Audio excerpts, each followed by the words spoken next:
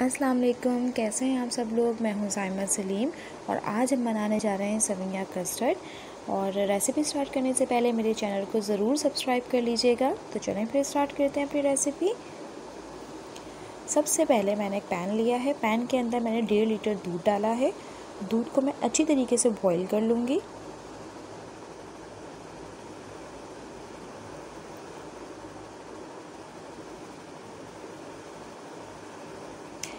एक बॉयल आने तक पकाएँगे हम दूध को। जब तक दूध हमारा बॉयल हो रहा है,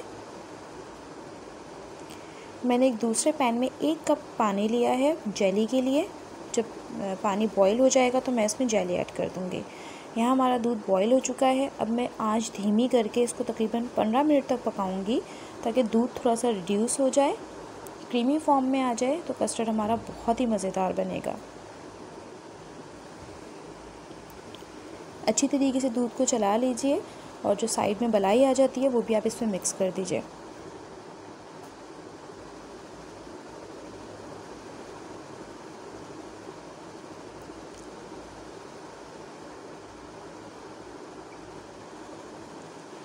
यहाँ हमारा जेली का जो पानी था, वो बॉईल हो चुका था। मैंने इसके अंदर एक पैकेट स्ट्रॉबेरी फ्लेवर की जेली ऐड की है और इसमें इसे अच्छी तरीके से मिक्स करूँगी।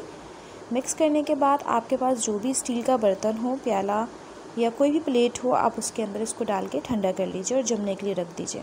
मेरे पास प्लेट थी, मैंने प्लेट में निकाल के इसको ठंडा करने के लिए छोड़ दिया था। यहाँ दूध हमारे पंद्रह मिनट हो चुका था, पंद्रह मिनट में अच्छा खासा हमारा दूध रिड्यूस हो चुका था। अब मैं इसके अंदर एक पैकेट कलर्ड सवैयाँ ऐड करूँगी और ऐड करने के बाद मैं इसे अच्छी तरीके से मिक्स कर लूँगी ताकि सवैयाँ आपस में चिपके नहीं।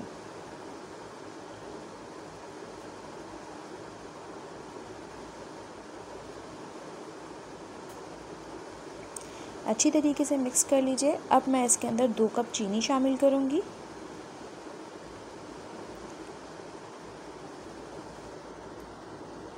चीनी शामिल करने के बाद मैं इसे अच्छी तरीके से चला लूँगी। यहाँ तक कि गल जाए।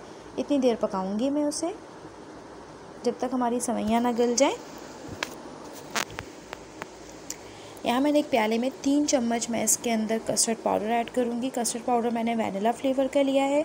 आपका जो दिल करे, आपको जो फ्लेवर पसंद हो, आप उस फ्लेवर का कस्टर्ड पाउडर ले सकते हैं। तीन बड़े चम्मच मैंने कस्टर्ड पाउडर का इसमें लिया है और थोड़ा सा दूध डाल के मैं इसका पेस्ट बना लूँगी हल्का सा इसको।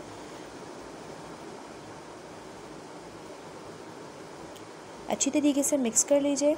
यहाँ हमारी सवैयाँ गल चुकी हैं बिल्कुल। अब मैं इसके अंदर कस्टर्ड पाउडर ऐड करूँगी।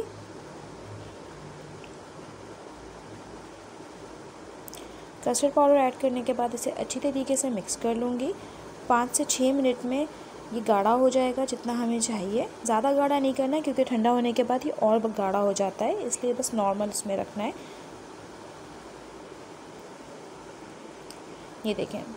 पाँच से छः मिनट मैंने इसे मिक्स किया और ये थिक हो चुका है, इतना जितना हमें चाहिए था।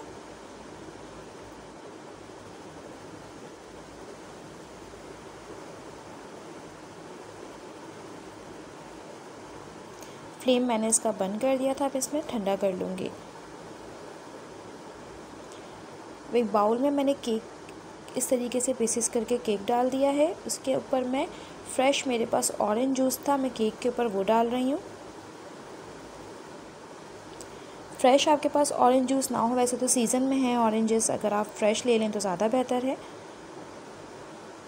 नहीं तो आप कोई भी जूस लेकर केक के ऊपर डाल सकते हैं।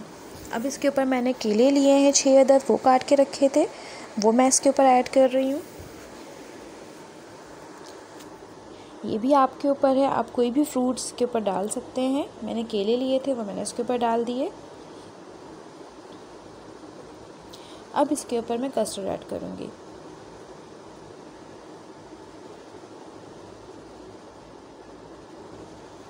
अच्छी तरीके से पूरी लेयर लग, इसके ऊपर आप लगा दीजिए कस्टर्ड की। और जिसको बिल्कुल ठंडा हो जाए, बिल्कुल ठंडा तो फिर मैं इसके ऊपर जेली कट करके डाल दूँगी। अब आप इसे ठंडा कीजिए, ठंडा करके आप इसे एंजॉय कीजिए। मेरी रेसिपी पसंद आई हो तो अपने फ्रेंड्स एंड फैमिली में ज़रूर शेयर कीजिएगा। अल्लाह हाफिज़।